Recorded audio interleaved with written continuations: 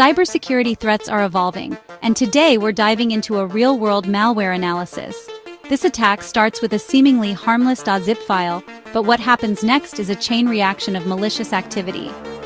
Our investigation begins in app.any.run a sandbox environment where we analyze suspicious files.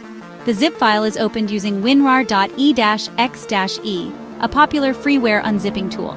But inside, we find something alarming a file named payment4swift.vbe. When executed, the VBE file launches wscript.e-x-e, a native Windows process used for running Visual Basic scripts.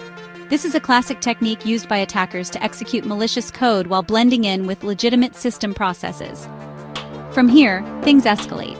The WScript process spawns PowerShell, but the script is obfuscated with base64 encoding a common tactic to hide malicious commands from detection.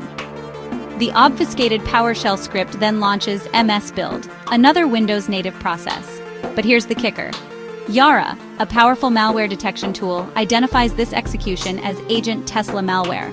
Agent Tesla is a notorious spyware that steals credentials, logs keystrokes, and exfiltrates sensitive data. As if that wasn't enough, Another WScript instance is launched, executing vkokvljkavi.vbs. This script leverages Windows Management Instrumentation, WMI, a living off the land technique used by attackers to execute shell commands and manipulate system processes.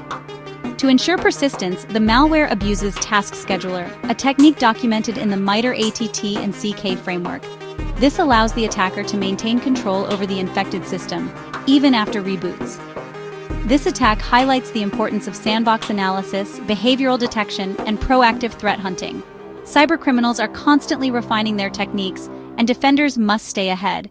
Stay vigilant, stay informed by staying tuned to the InfoSec Guy 5150 channel, visiting our sponsor www.baseops.biz, and always question suspicious files and processes.